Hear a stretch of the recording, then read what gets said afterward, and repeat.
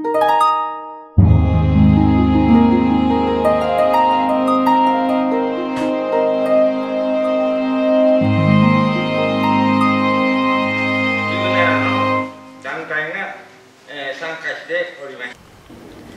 月2日産業振興会館で交流事業フォーラムが開催されました。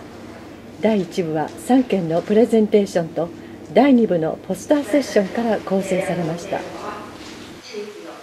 エコ状況等が等が増加しており今年度は4000人を評価は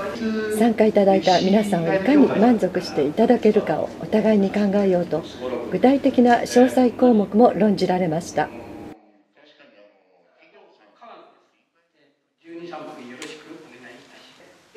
平成11年から平成21年3月までの活動が報告されました。この期間で6003本の食事がなされどんぐりから芽を出した2世代目も順調に育っています。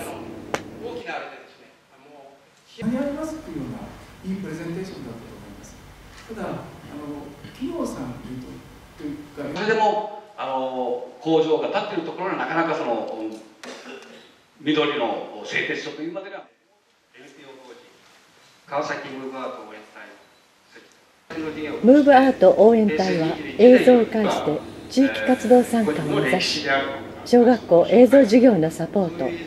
川崎市民ニュースの作成を行っています。協賛金としてご支援をいただく。それからニュース映像などを放映するための場所の提供。ているであるとか、そういったところを、まあ、いろんなのを提供していただいて、あの確かにあの映像、古き良きなし、そういう映像を。企業市民活動団体による社会貢献活動の紹介展示が行われ活発に情報交換がされていました